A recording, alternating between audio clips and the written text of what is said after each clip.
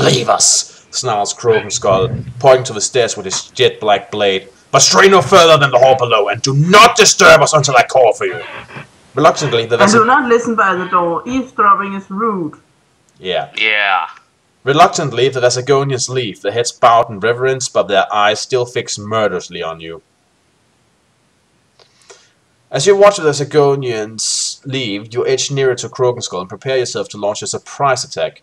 You will need all your speed and skill if you are to catch him off guard. From the bottom of the stairs, you hear the steel door click shut, and immediately you spin around to face your enemy. But he has a plan of his own, and he, it is he who catches you by surprise. A crackling arc of blue electrical fire surges from his hand and connects with your chest, shaking you life, shaking you like a helpless puppet on the tip of a fire lance. Now tell me everything you know, he growls as he increases the current. It is torture that he has employed countless times, and always it has- it has elicited the truth from his human victims. Your skin tingles and the charge causes you to shiver, yet you feel no pain. Staring down, you see that the crackling bolt is being drawn to the golden amulet that hangs around your chest. Its magical properties are neutralizing the evil charge. Kraagenskull senses that something is wrong. He breaks off his attack, his bulbous eyes filled with fearful suspicion. He steps back and then utters a curse in the dark tongue, which echoes like thunder around the walls.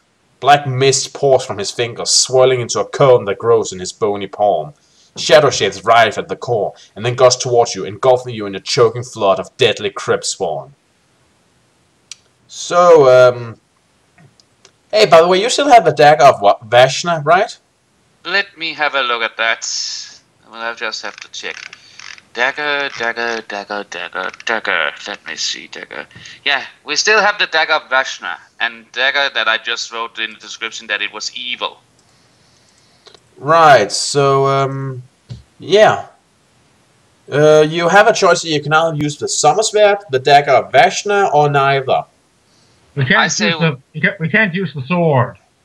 So I say we use the dagger of Vashna then. Yes. Okay. We can't use the sword. I know. Remember? Yeah. The moment you draw the dagger from your belt, a blue flame courses the length of its twisted blade, and the squealing flood of crypt spawn soar upward towards the roof in order to avoid you. They and their creator, Darklord Kraagenskull, recognize the power you wield and both are in awe and terror of it. Freed from the threat of its loathsome summona- summonations, you now advance upon Kraagenskull with the dagger before you. He screams in anger and lunges at your head, his sword ablaze with tongues of black fire. You catch the blow on the tip of the dagger, and both blades spark furiously as their terrible powers collide. You're now fighting Dark Darklord Kraagenskull. First of all, he's immune to Mind Blast, but not Psi-surge.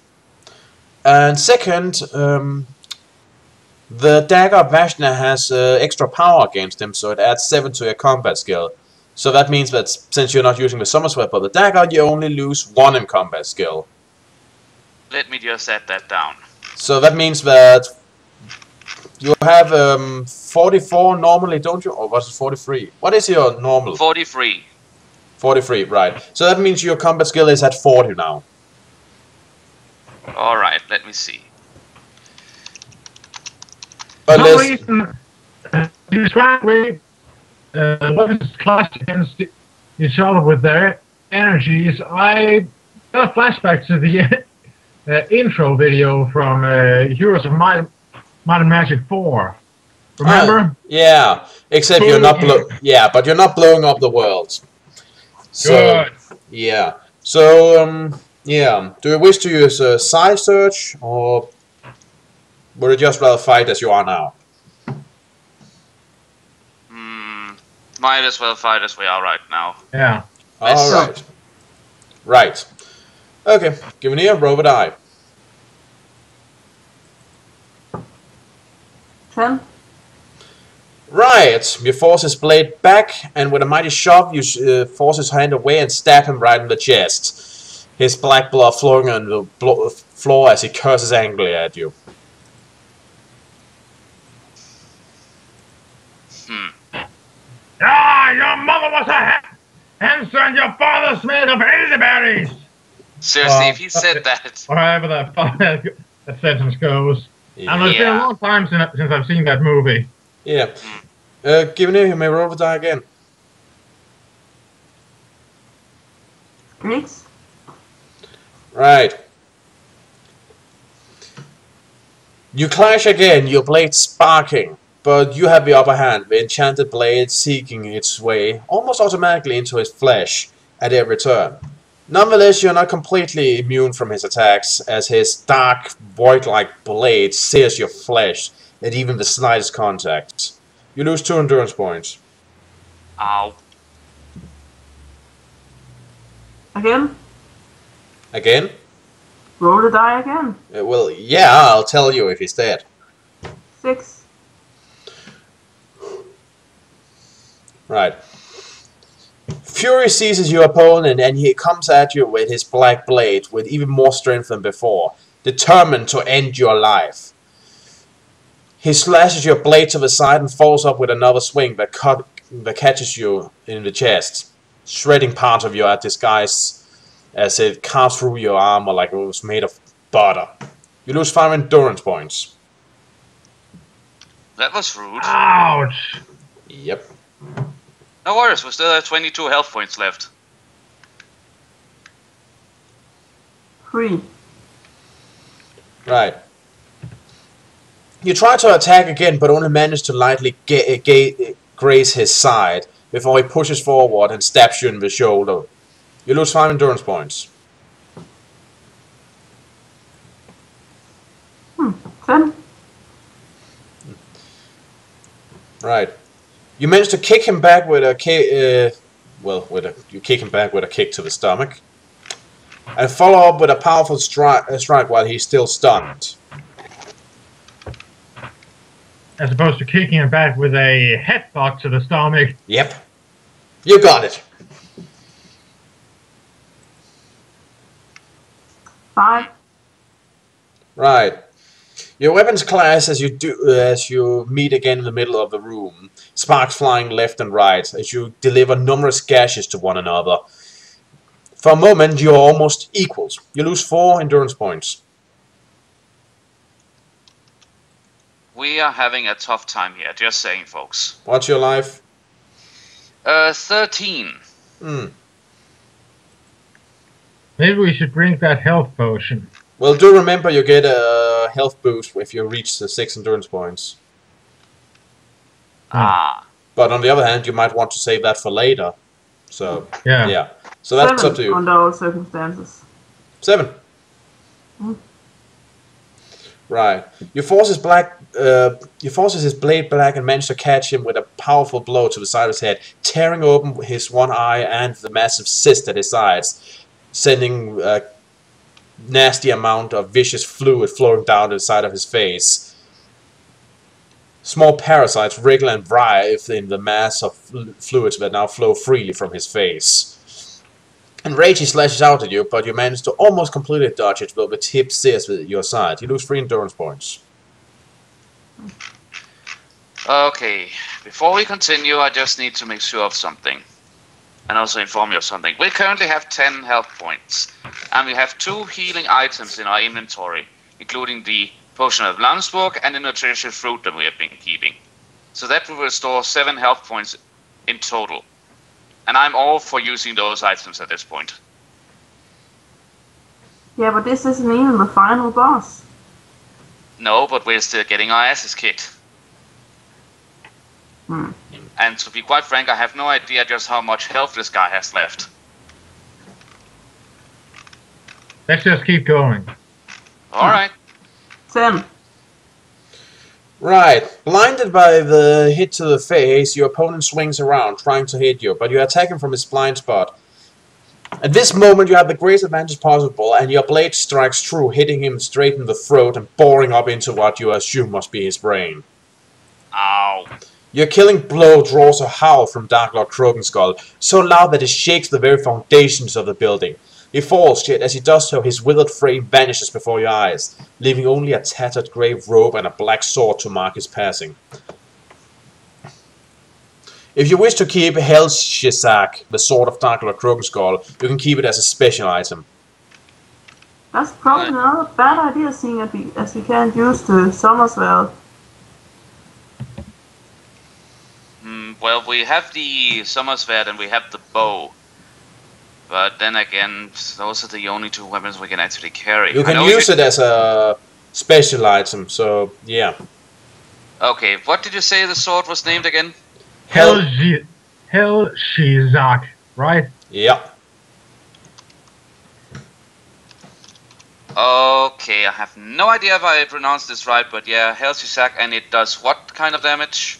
Well, it adds five to your combat skill, seven if you use it against the Dark Lord. Hold on. However, it's a very evil weapon. So not recommended for a lot of use. It absorbs one of you. It reduces your endurance by one point for every round you uses it, permanently. Oh, I say we just keep the dagger then. yeah, please. Yeah, Yeah, okay, I'm not aiming that weapon. yeah. The dagger has no special powers when not used against the Dark Lord, but you have other weapons for that. So yeah, having recovered from your combat, you quickly leave the chamber by the stair that leads to the roof. There you discover the Slant Beast, Kraagenskull's personally winged mound, perched on a raised log. Standing nearby is a Death Knight armed with a spear, staring absent-mindedly over the parapet of the harbor lights below. The Zlanbeast sniffs the air and shuffles along its perch with a nervous, rolling gait. It senses that you are in its natural that you are its natural enemy, and it's becoming agitated in your presence. You must act quickly and with skill if you are to use this beast to escape from Argasad. Do you wish to use your bow? Or do you wish to approach the Death Knight and tell him that he's wanted at the barracks? Or do you want to sneak attack him? Well, our armor is torn, so... Well, no idea. What do we do? Do we... Sneak attack him with the dagger. Hmm. I can support that, but what say you, given here? It sounds like a good idea. Alright, we take the dagger and see if we can sneak attack him. Like a shadow, you glide towards the Death Knight, your weapon poised to k- strike him down. But just as you're closing for the kill, the Zlanbeast lets out a piercing call of alarm. Fucking stupid bird. Um, roll a die. And, um, you may. Wait, have you gotten those skills? I- I'm pretty sure you've got those. Um, What? yeah, you may add one for having both Weapon Mastery and Hunt Mastery, and you may add uh, three for having Animal Control. So that's four in total. Roll a add four. 14. Using your Kai skills, you will the Zlanbeast to cease its incessant call. Immediately it obeys your psychic command and shuffles to the end of its perch, its head bowed and its eyes half closed. The Death Knight starts to turn away from the parapet, but his movements are slow and relaxed, and he's totally unprepared to receive your attack. Like a striking viper, you lash out at his chest with deadly effect. The Death Knight sentinel stiffens and falls dead at your feet, his black armor and his black heart torn open by the force of your killing blow. His black heart? You didn't even know the guy! Well, And they're right, so. Yeah, sincerely doubt he literally had a black heart. Yeah, but regardless, he was working for the bad guys, and at least he got a quick death. Yep. A quick search of his body reveals the following items a spear, a dagger, an axe, a pouch of tobacco, a bottle of wine, a pipe, 60 kika, an iron key, and food for one meal. Ah, that goddamn foreign currency again. Yeah, Let's sorry, no the let's take the key. The iron key? Yes. Okay. Hold on.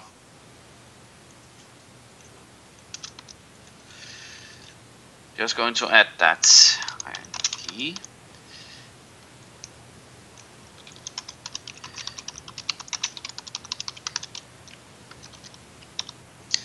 Iron key taken from Death Knight Sentinel.